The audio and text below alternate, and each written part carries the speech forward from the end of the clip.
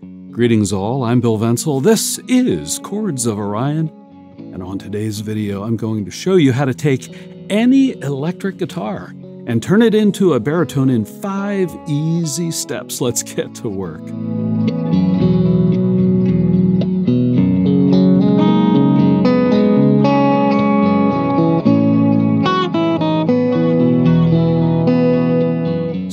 If you're interested in baritone guitars, you probably know that they have longer than normal scale lengths and that they're tuned about halfway between a standard guitar and a bass.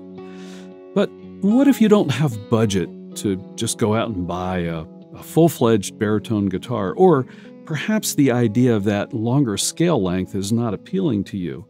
Well, there are some things you can do to take a regular guitar like this one and turn it into a baritone or an instrument that plays in the range of a baritone.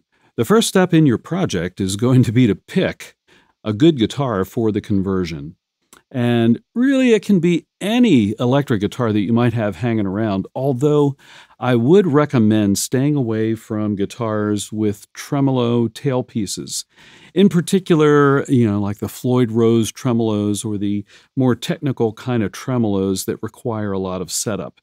It's probably going to be easier to follow the steps in this video if you have a guitar with a hard tail like this one. Step two in the conversion is to determine what the overall tension of your normal strings are that you run on the guitar you're going to convert. So, for example, on this guitar, I've got a 25 and a half inch scale length neck, so it's a Stratocaster kind of neck, and I usually string with 10 to 46. So, your classic standard light gauge strings, this is going to be your D'Addario, your Ernie Ball, or in my case, usually elixirs.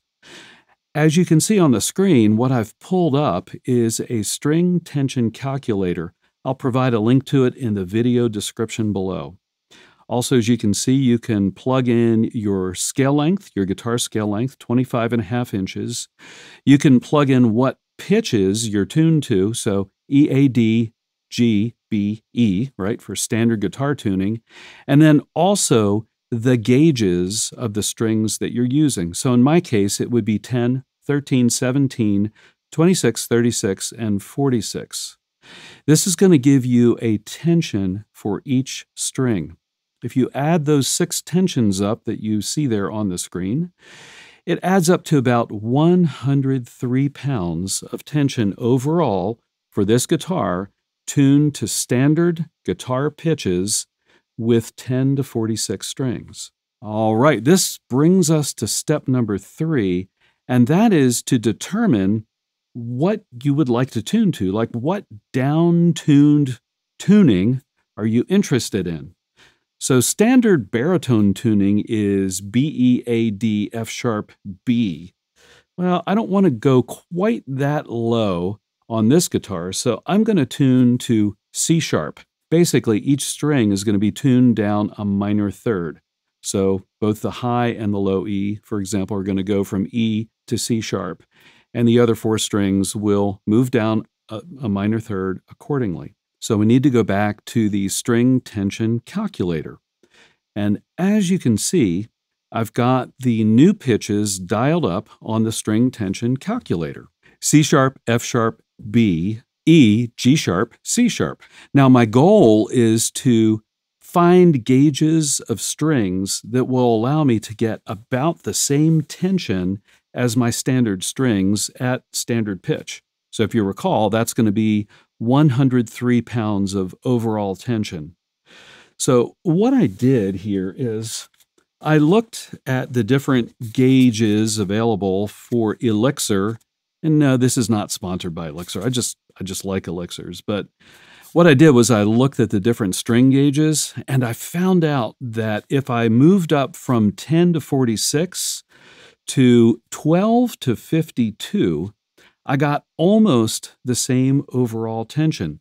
So again, if you look at that string tension calculator and look at all those tensions for each string, if you add them up, it's about 105 ish, 105 and a half pounds of overall tension.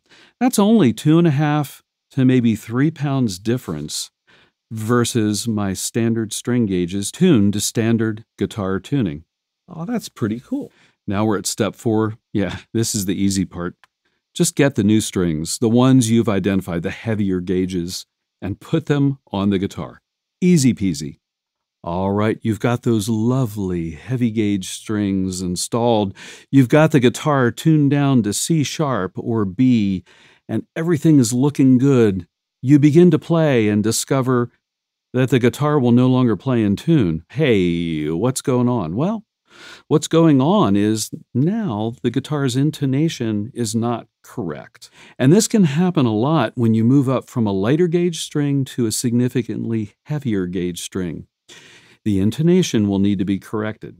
Well, what is intonation, you may ask? Well, basically, it's the exact length that a guitar string needs to be set to to play a note open, C sharp in this case, and to have it be exactly in tune when you play it an octave higher on the 12th fret. If the intonation's off, then that interval will not be in tune.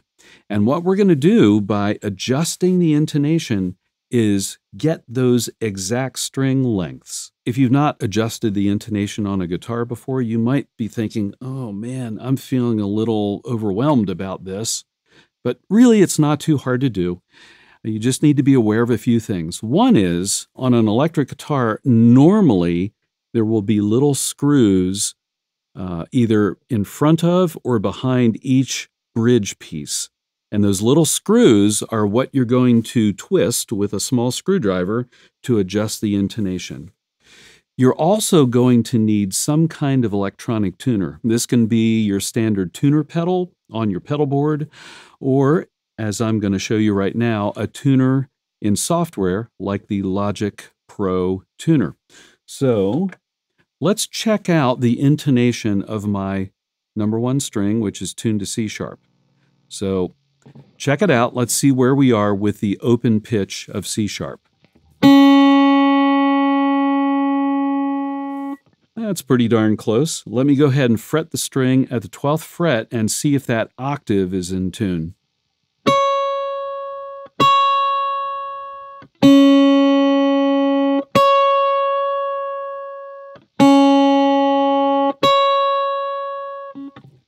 It's pretty darn close. I could probably fool around with it to get it closer, but you know, it's pretty close. You basically start with one string, you move all the way through. You'll need to just continue to retune as you go along until all the strings play in tune open and at the 12th fret. So at this point, generally, all is well. The guitar is down tuned. You've got the, the new strings on it. The, the string tension feels great and the guitar is playing in tune. There are just a couple of other considerations, though, to, to keep in mind. One is that with heavier gauge strings than normal, you may need to go through or consider going through and adjusting some of the string heights. I don't normally need to do that on my guitars. I haven't found that generally to be necessary, but it is possible that you might get a string rattle with heavier gauge strings? Maybe not, but maybe. And if so, you may need to just tweak the string height a little bit with a little, they're typically little screws for whichever string is rattling or buzzing a little bit. The second consideration could be a little more complicated, and that is the nut itself and the width of the slots in the nut for the strings. So, moving from tens to 12s on this guitar worked great.